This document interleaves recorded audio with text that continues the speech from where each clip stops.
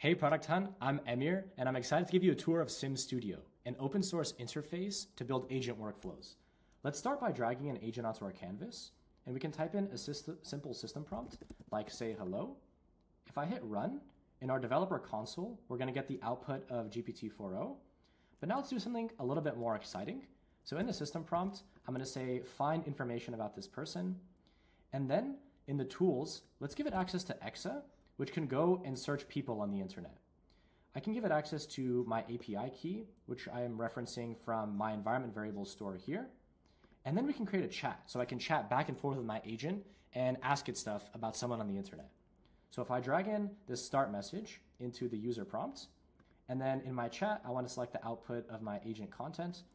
Let's type in my name from SimStudio.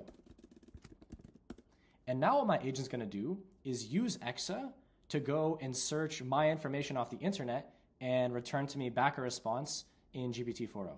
Of course, we can configure the model and the temperature and give the agent the ability to either decide whether or not to use this tool or actually force this tool. So I can see that this information returned back to me was accurate, but I actually want to check if it did use this tool. So I can go in my logs and then I can check if this agent how long it took, which was around nine seconds. I can see the output that this agent returned back to me, and I can verify that indeed it did use Exa-search.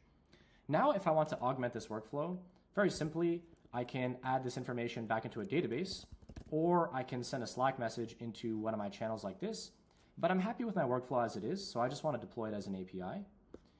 Then, if I go into my top right, I can select deploy as an API, and with one click, now this API is deployed and protected by this API key, so I can make requests to this workflow to trigger it inside of my application.